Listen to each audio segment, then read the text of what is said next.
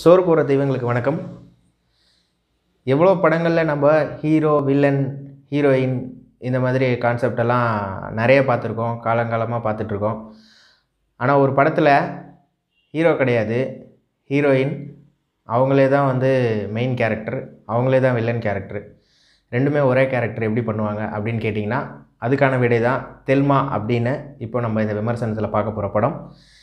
இந்த படத்தோட விமர்சனத்துக்கு போகிறதுக்கு முன்னாடி எங்கள் முடத்தொழில் சேனலை இது வரைக்கும் சப்ஸ்கிரைப் பண்ணாதவங்க சப்ஸ்கிரைப் பண்ணுங்கள் சப்ஸ்கிரைப் பண்ணும்போது பக்கத்தில் இருக்கிற பெல் பட்டனை ப்ரெஸ் பண்ணுங்கள் அப்போ தான் எங்கள் சேனலோட வீடியோஸ் உங்களை ஆன் டைம் வந்து சேரும். இப்போ வாங்க வீடியோக்குள்ளே போகலாம்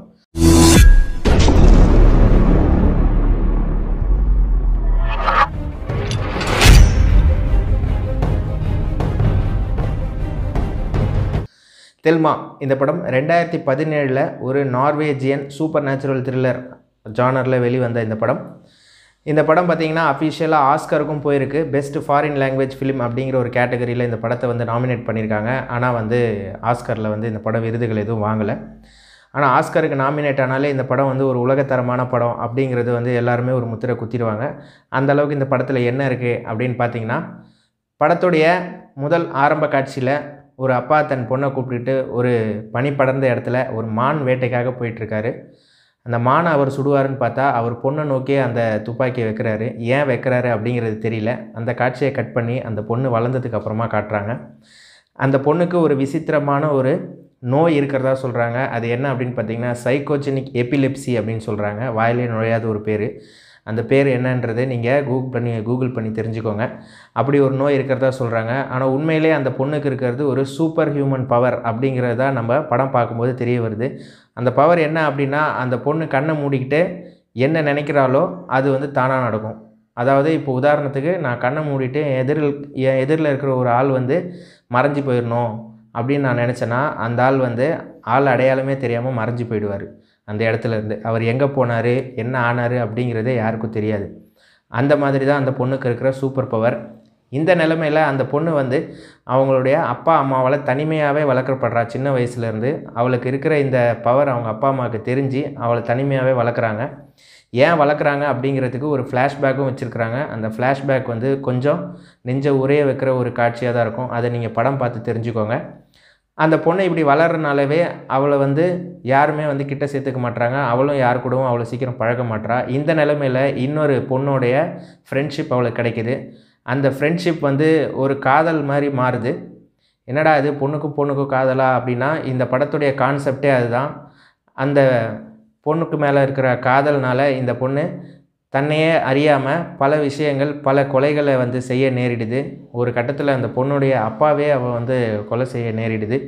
இதுக்கப்புறம் இந்த படத்தில் நடக்கிற சுவாரஸ்யமான சம்பவங்கள் என்ன அப்படிங்கிறது தான் இந்த தெல்மா அப்படிங்கிற சூப்பர் நேச்சுரல் படத்தோடைய கதை.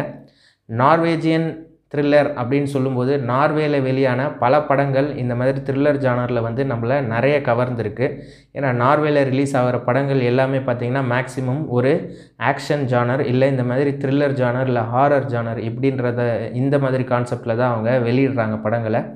அப்படி வெளியான இந்த தெல்மா படமும் பார்த்திங்கன்னா நல்லா ஓடி இருக்கு ஆனால் பாக்ஸ் ஆஃபீஸில் அந்தளவு கலெக்ஷன் பண்ணலை. ஆனால் கிரிட்டிக்ஸ் மத்தியில் அதாவது விமர்சகர்கள் மத்தியில் ஒரு நல்ல பேர் வாங்கியிருக்கு. ஆஸ்கருக்கும் நாமினேட் ஆகிருக்கு இந்த படத்தில் குறிப்பிட்டு சில காட்சிகள் சொல்லணும் அப்படின்னா இந்த படத்துடைய டைட்டில் முடிஞ்சதுக்கப்புறம் ஆரம்பத்தில் அதாவது ஓப்பனிங் சீன் பார்த்திங்கன்னா ஒரு லாங் ட்ரோன் ஷாட் வச்சுருப்பாங்க.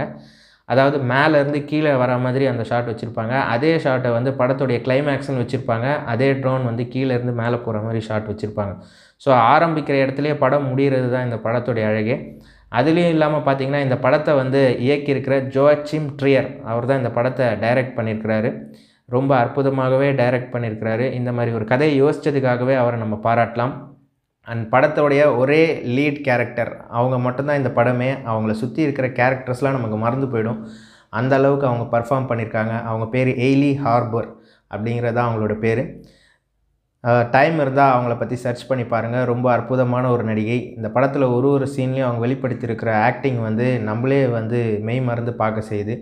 அண்ட் முக்கியமான ஒரு சில விஷயங்கள் சின்ன வயசுலேருந்தே வந்து பேரண்ட்ஸ் வந்து குழந்தைங்க மத்தியில் கடவுள் நம்பிக்கையை மூட நம்பிக்கையை எப்படி வளர்க்குறாங்க அப்படிங்கிறதையும் இந்த படத்தில் வந்து டைரக்டர் நல்லா அலசி ஆராய்ஞ்சு நிறைய சீன்ஸில் சொல்லியிருக்கிறாரு.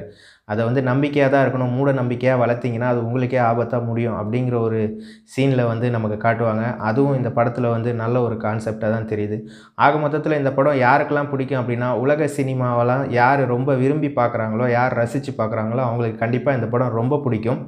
நார்மல் ஆடியன்ஸுக்கு இந்த படம் பிடிக்கிறதுக்கு ஐம்பது சதவீதம் தான் வாய்ப்பு இருக்குது ஏன்னா இந்த படம் படம் போகிற வேகம் அந்த மாதிரி. ஸ்க்ரீன் ப்ளே பார்த்தீங்கன்னா ரொம்ப ஸ்லோவாக தான் போகும். நீங்கள் பரபரப்பெல்லாம் எதிர்பார்க்க முடியாது. ஆனால் உலக சினிமா விரும்பி பார்க்குறவங்களுக்கு இந்த படம் வந்து ஒரு ஜெம் அப்படின்னு சொல்லலாம். ஒரு முத்து அவங்களுக்கு இந்த படம். ஓகேங்க.